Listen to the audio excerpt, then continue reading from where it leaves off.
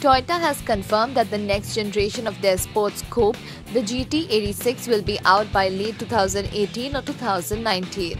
The car will sit below the much awaited Toyota Supra in the Japanese manufacturer's sports car lineup. Toyota would follow the same formula that has made its sports cars successful worldwide, where the cars have a front engine, rear wheel drive, and are two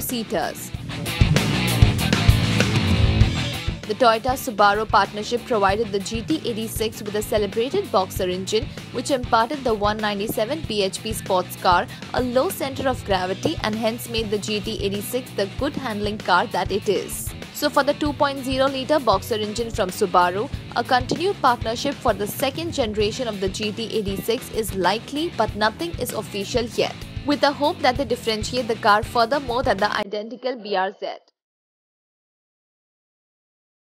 There are also rumors that an open-top version could be developed. But Toyota has confirmed that for now it is not working on any such open-top versions of the GT86.